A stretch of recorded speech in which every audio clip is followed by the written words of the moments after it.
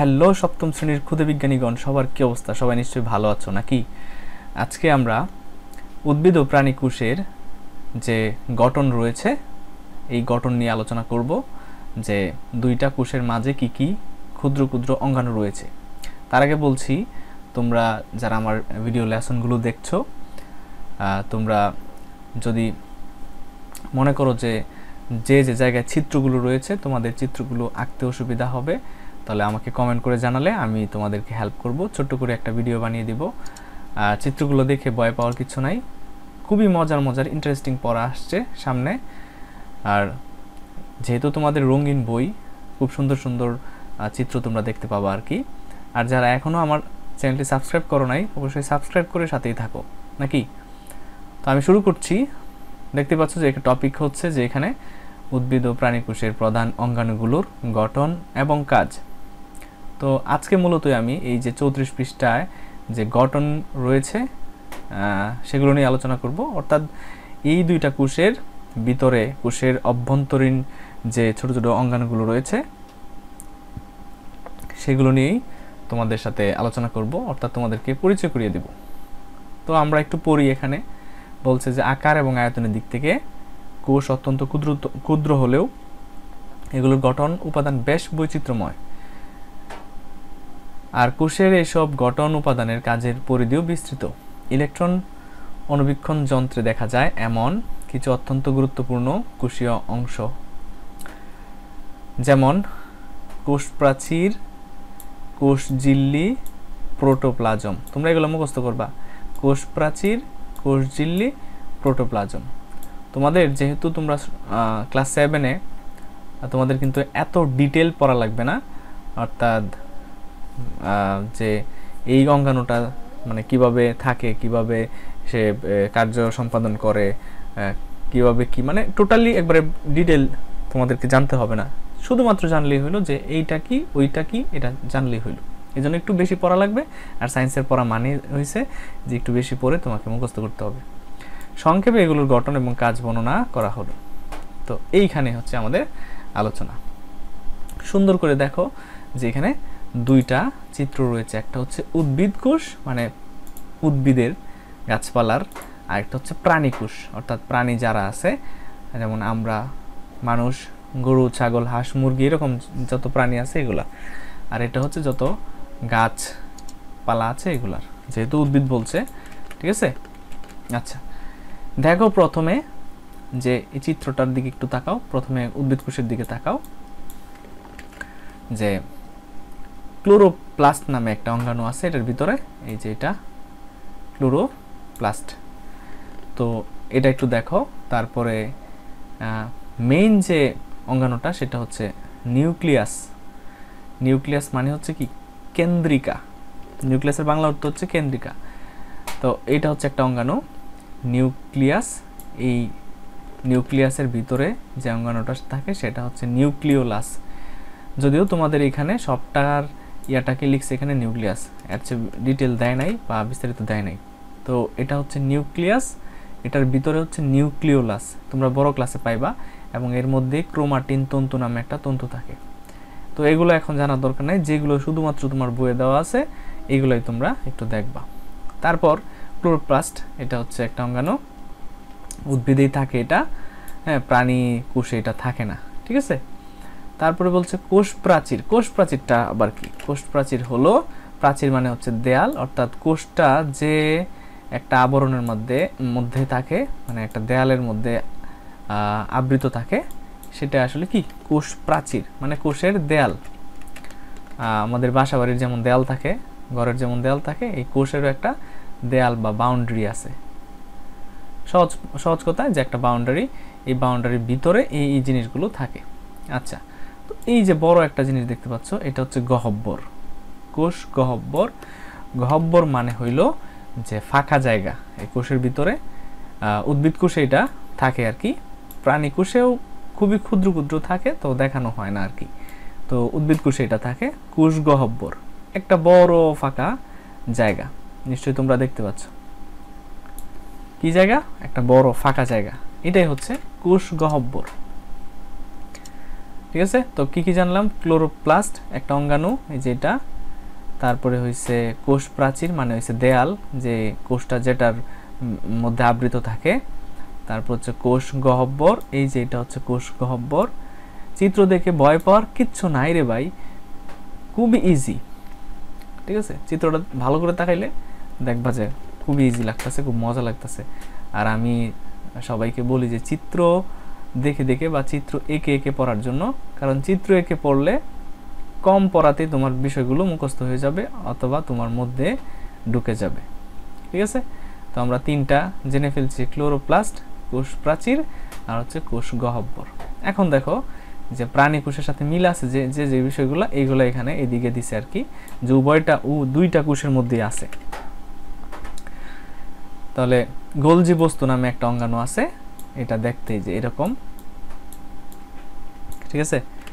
নুডলসের যে ইয়াগুলো থাকে না, এগুলোর মতো আর কি অনেকটা।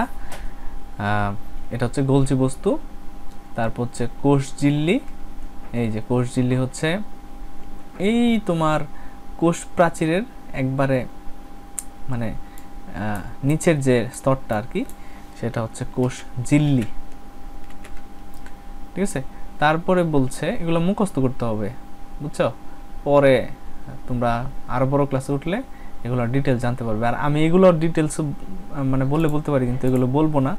কারণ হচ্ছে তোমার দরকার পড়বে না।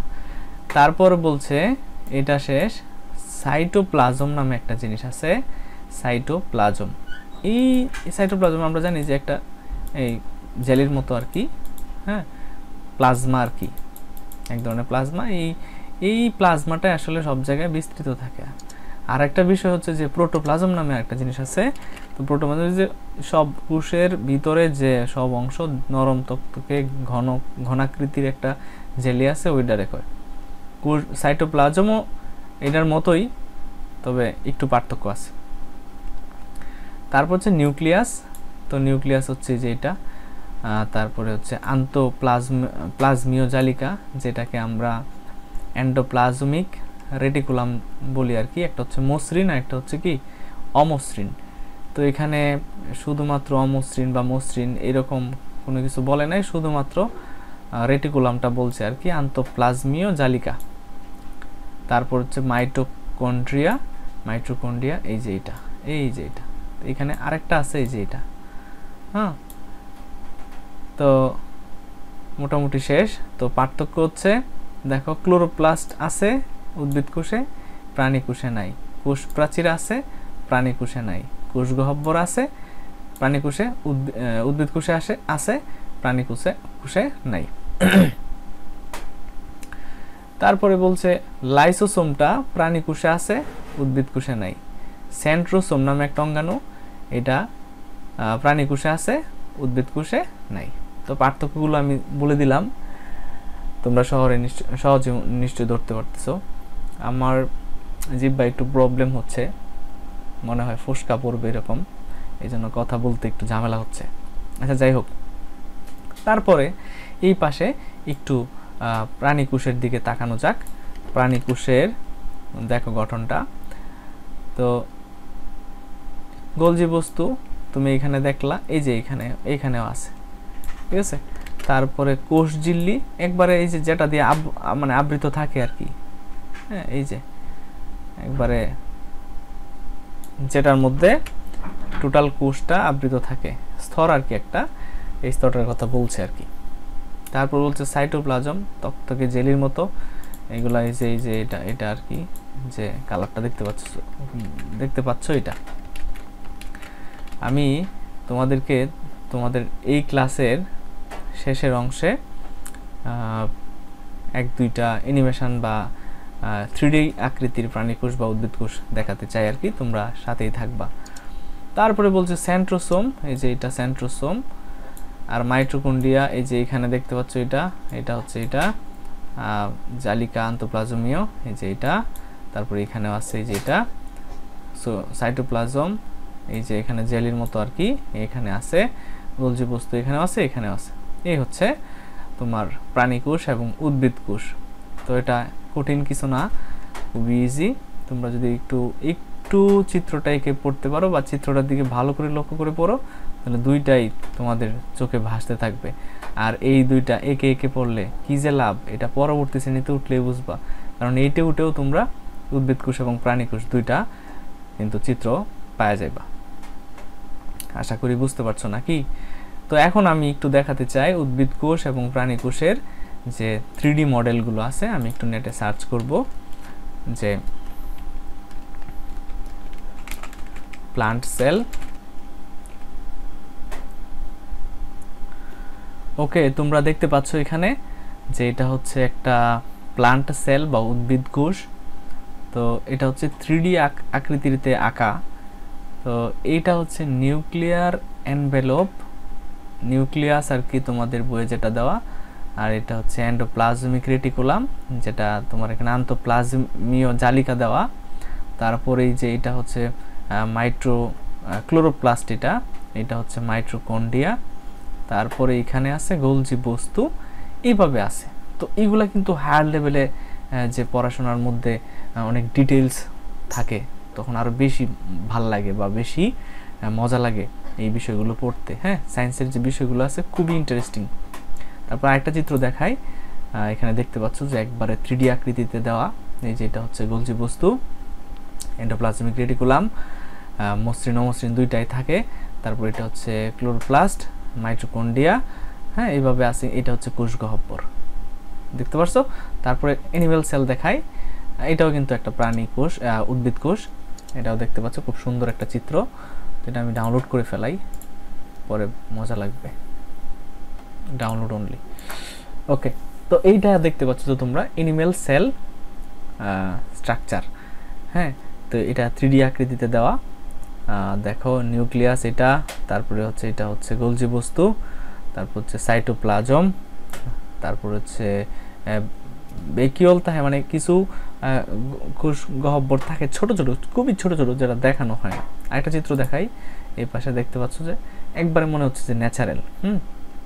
মাইট্রোকুন্ডি আছে বস্তু আছে। দেখছ, চিত্রটা দেখো ভালো করে, তোমাদের বইয়ের সাথে মিলাও, ঠিক আছে? আজকে এই পর্যন্তই, শুধুমাত্র আমি একটু পরিচয়টা করায় দিলাম তোমাদের বইয়ের সাথে, এই দুইটা চিত্র। তোমরা যদি কমেন্ট করো বা তোমাদের প্রয়োজন হয় যে চিত্রগুলো একটু এঁকে আপনা আমাদেরকে একটু দেখান তাহলে আমি আঁকার চেষ্টা করব এবং তোমাদের সাথে শেয়ার করব। ঠিক আছে? আরও নতুন নতুন ইন্টারেস্টিং ভিডিও আসতে থাকবে। নিশ্চয়ই আমার চ্যানেলের সাথে থাকবা। ধন্যবাদ সবাইকে।